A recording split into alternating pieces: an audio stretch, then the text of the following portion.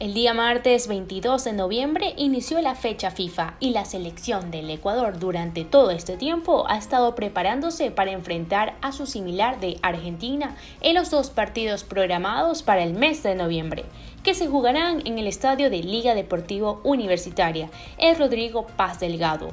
El primer partido será el día 27 de noviembre a las 15 horas y el segundo encuentro está programado para el día 30 a la misma hora. Durante estos días, las seleccionadas ecuatorianas han tenido trabajos regenerativos en el gimnasio, actividad física y trabajos de ordenamiento defensivo y ofensivo. La DT Emily Lima destaca las fuertes rivales a los que se han medido Ecuador y cuánto les sirve para su propósito.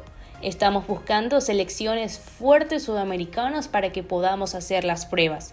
Claro que hay situaciones diferentes a cada selección dentro de cada modelo de juego que ellas presentan y nosotros estudiamos. Dentro de los conceptos y de lo que estamos intentando para Ecuador, cambiar algunas cosas, hubo algunos cambios significativos y esto es lo más importante para nosotros. Seguimos enfocados en la Copa América y no solamente en estos partidos. No podemos perder el foco, hay que seguir trabajando, manifestó la DT Lima.